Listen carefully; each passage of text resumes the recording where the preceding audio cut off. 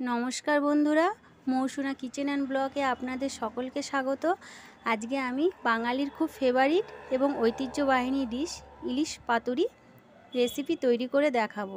চলুন তাহলে দেখে নিই এই রেসিপিটি তৈরি করতে আমার কি কি লাগছে। এখানে আমি ইলিশ মাছ, বড় সাইজের ইলিশ মাছ কেটে ধুয়ে রেখেছি।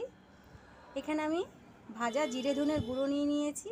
নিয়ে নিয়েছি চিনি, নুন এখানে আমি কালো সর্ষে, একটা কাঁচা লঙ্কা আর সামান্য হলুদ দিয়ে বেটে নিয়েছি। এখানে কাঁচা লঙ্কা চিড়ে নিয়েছি আর এখানে সর্ষের তেল নিয়ে নিয়েছি।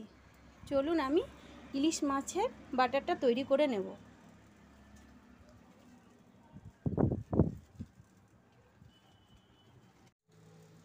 প্রথমে আমি সর্ষে বাটাটা দিয়ে দেব। তারপরে ভাজা জিরে ধনের গুঁড়োটা দিয়ে দেব। দিয়ে দেব হাফ চামচের মতো চিনি। গোটা কাঁচা লঙ্কা চেরা আর পরিমাণ মতো সর্ষের তেল।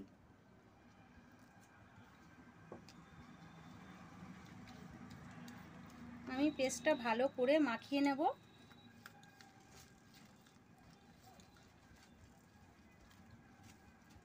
এবার এর মধ্যে মাছগুলো একে একে দিয়ে ভালো করে বাটারটা মাখিয়ে নেব।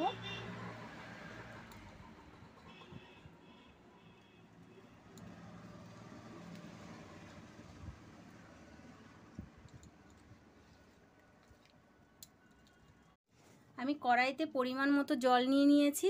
জলটা গরম হয়ে এসছে। এখানে সব কলা পাতাগুলো এইভাবে ডুবিয়ে নেব, পাঁচ মিনিট সেদ্ধ করে নেব।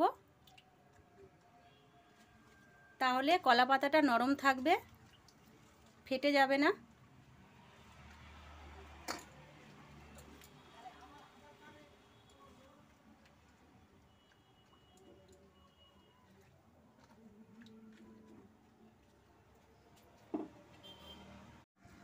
দেখুন বন্ধুরা, এখানে আমি কলা পাতাটা জলে সেদ্ধ করে নিয়েছিলাম, যাতে কলা পাতাটা নরম হয়। এর মধ্যে এবার মশলা মাখানো মাছগুলো দিয়ে দেব।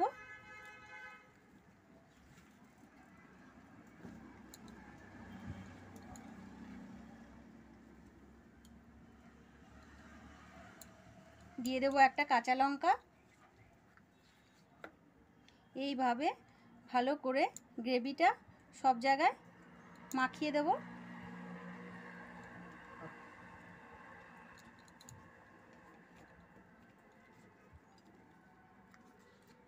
এবার ভালো করে কলা পাতাটাকে এইভাবে মুড়িয়ে নিতে হবে।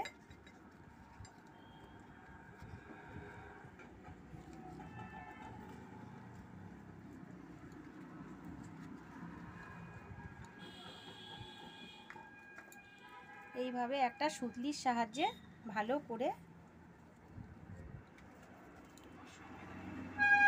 ভালো করে টাইট করে বেঁধে নিতে হবে। অবশ্যই একটু টাইট করে বাঁধবেন, না হলে মশলাটা বেরিয়ে যাবে।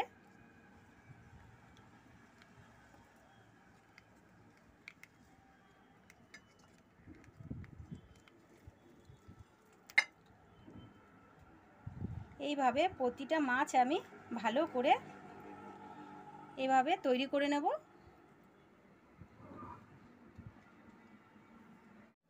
দেখুন বন্ধুরা, আমার প্রতিটি মাছ আমি এইভাবে ভালো করে বেঁধে নিয়েছি, ভালো করে পাতাটাকে মুড়িয়ে শক্ত করে বেঁধে নিয়েছি। একদম শক্ত করে বাঁধতে হবে যাতে মশলাটা বেরিয়ে না আসে।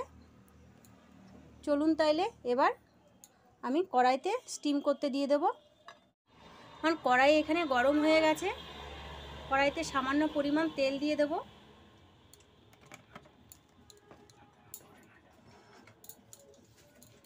তেলটা দিলে কি হয়? তেলটা দিলে কড়াইতে ধরে যায় না, কলা পাতাটা পুড়ে যায় না। তার জন্য তেলটা দিলে একটু ভালো হয়। আর এই মাছে সব কিছুতেই সর্ষের তেল ব্যবহার করলে খুব টেস্ট হয়।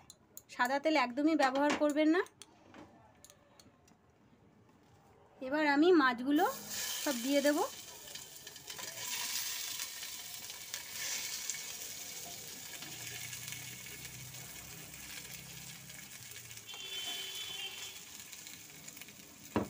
এবার আমি গ্যাস সিম করে দশ মিনিট ঢেকে দেব। আমার দশ মিনিট হয়ে গেছে, ঢাকনাটা খুলে নেব।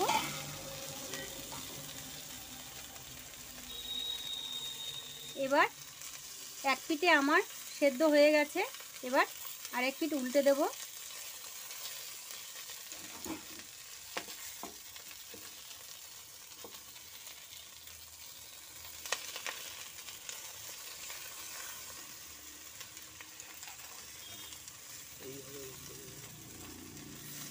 এইভাবে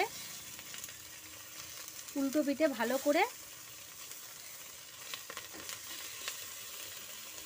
যাতে এগুলো খুলে না যায়, ভালো করে উল্টে দিতে হবে।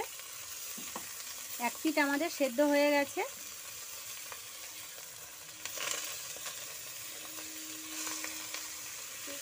সবগুলো উল্টানো হয়ে গেছে। এবার দশ মিনিট আবার ঢেকে দেব। বন্ধুরা, আমার দশ মিনিট হয়ে গেছে। ঢাকনাটা খুলে নেব, গ্যাসটা অফ করে দেব।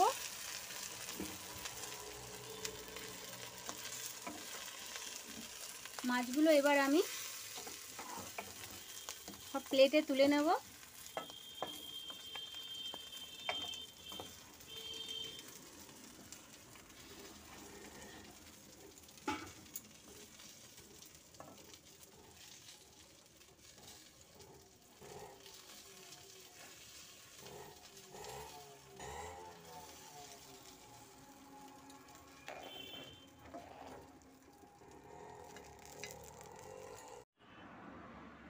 দেখুন বন্ধুরা, আমার ইলিশ মাছের পাতুরি রেসিপিটি কমপ্লিট হয়ে গেছে।